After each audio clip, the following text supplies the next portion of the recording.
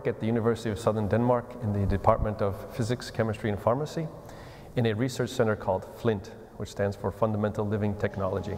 And in this research center, we are kind of embedded into the larger uh, community, maybe called artificial life.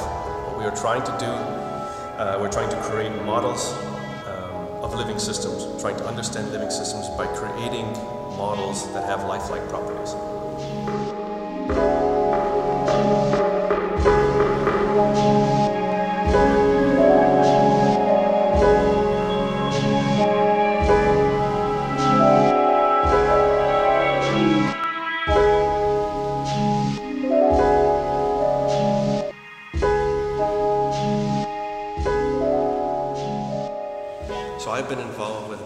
Team here at SDU for the last few years, and there's always been a strong sort of ethical component to the research.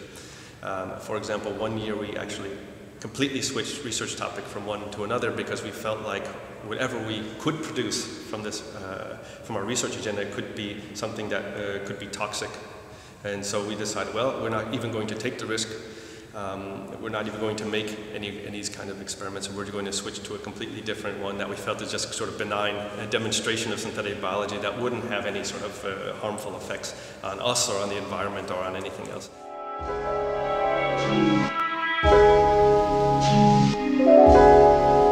Um, it's probably a blurry border, but I would have to say that artificial has to do something that we make.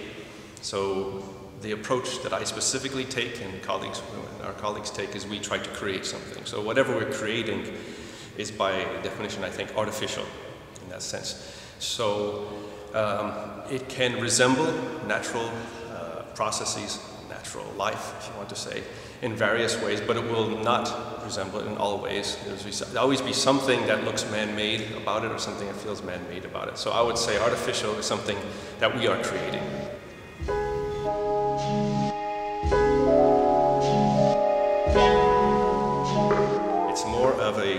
Modification of existing life.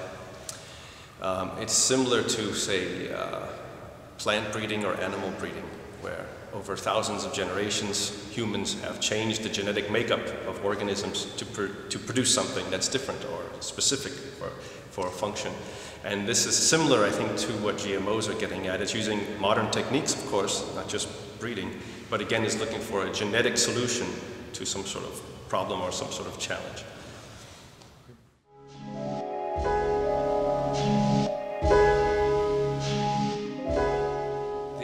Responsibility of in the work that we do, if we create something that is alive, which is arguable, by the way, um, what, how then do we take precautions? How do, how then, uh, how do we take care of it?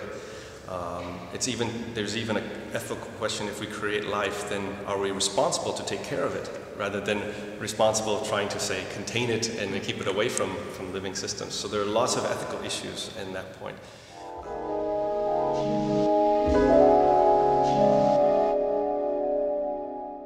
Sometimes you hear this argument that uh, when doing the research that we're doing, that we're playing God. Um, I don't I don't suppose that I know what God is, so therefore I cannot suppose that I'm doing anything related to what God does. Uh, but one thing, the way I would answer that is what we are certainly doing is creating something.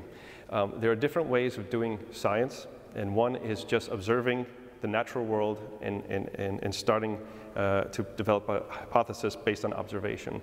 Another step is to actually create something new, and then maybe that will give you a certain understanding about the natural world. Uh, the whole motivation for doing this kind of work is not necessarily to create something new, but to understand what life is, because it's kind of difficult to understand.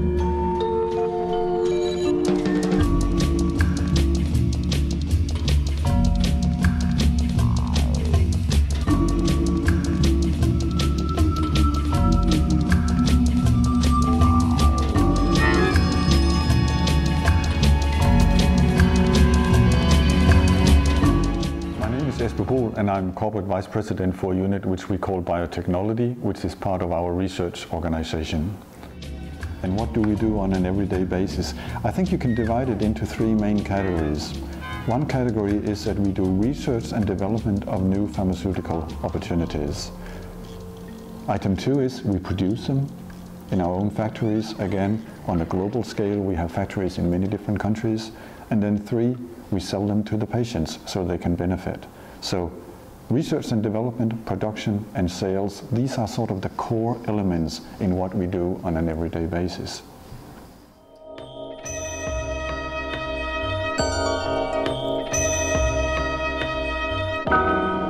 It was chosen to be able to move away from making insulin from dead animals.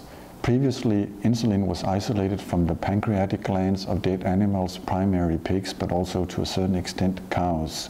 This was a cumbersome and dirty process. By introducing genetically modified organisms, we could transfer the production into Baker's yeast, a very small, easily grown, harmless organism that could produce insulin in large quantities and at very large uh, or very good quality.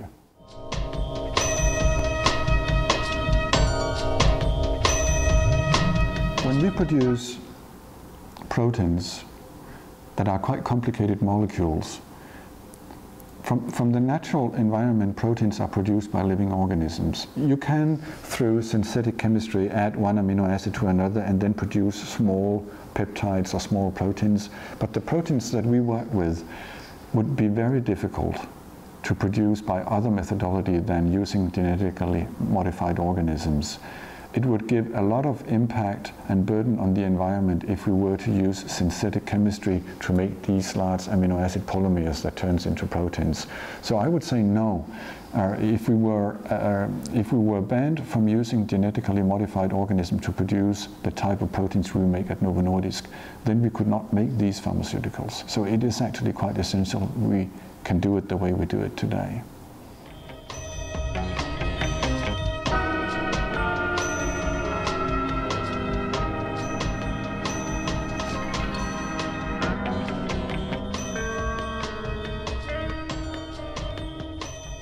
The prime motivation is to be able to help people that have diseases.